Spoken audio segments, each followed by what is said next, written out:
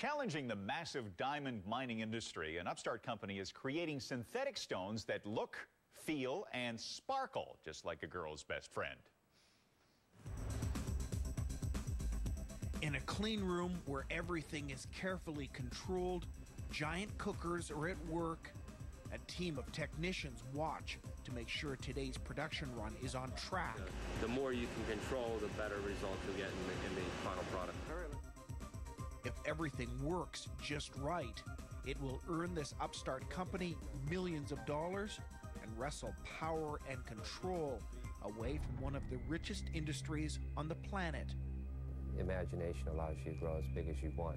If you're a diamond miner, searching for diamonds is no longer your biggest worry. This is. Chemically, optically, physically, our diamond is a diamond. But this diamond had nothing to do with Mother Nature. It came from a machine. Gemesis diamonds couldn't be further away from the diamond fields of South Africa or the Arctic. Just south of Tampa Bay, Florida, the company's on track to produce more diamonds than just about any mine in the world. And the supply here is unlimited. We call our machines, if you will, diamond cultivators. Gemesis brought the technology over from Russia in the days after the Soviet Union collapsed. It's actually based on um, the Cold War. Um, diamond uh, is the best uh, substrate for electronics, and it's also impervious to nuclear attack. But the Cold War ended before the machines could be perfected. Now they're engaged in a new war for the ring fingers of global consumers. To make a diamond deep underground, you need carbon and enormous amounts of heat and pressure. The diamond cultivators are designed to replicate those conditions. It's like a little earth in there, eh? The process starts with a cylinder made of metal and flecks of graphite carbon. At the base of each cylinder is a tiny diamond seed. When I talk about a diamond seed, I'm really talking about a small piece of diamond. And in here it looks like glitter, but it's actually small diamonds. The cylinder is placed at the center of the diamond cultivator. But that's where all your pressure is, is amplified to the maximum rating, which is 850,000 pounds per square inch. And we're running at about uh, 3,000 degrees Fahrenheit. As the core heats up, the metal will turn molten and the graphite carbon is freed up. The diamond seed at the bottom begins to attract carbon atoms and begins to grow itself into a larger diamond.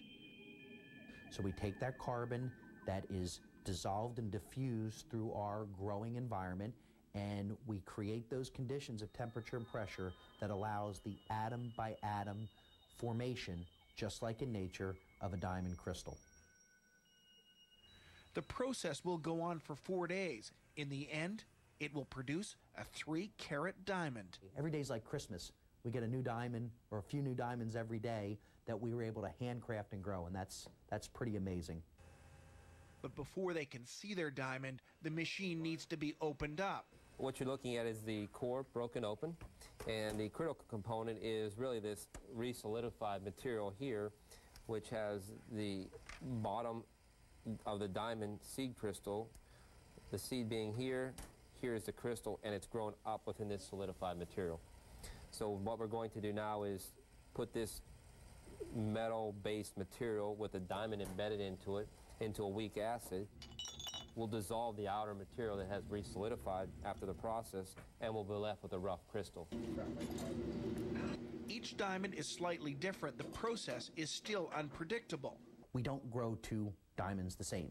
So when we grow a diamond crystal like this, everyone is unique and individual, just like in the earth. So each one will have some level of imperfection, just like an earth mine diamond. The final product will be cleaned, inspected, and sorted as a rough diamond. We've taken away a lot of the challenge of finding the diamond, but not the challenge of actually growing the diamond. Gemesis grows mostly colored diamonds, the most sought after and valuable.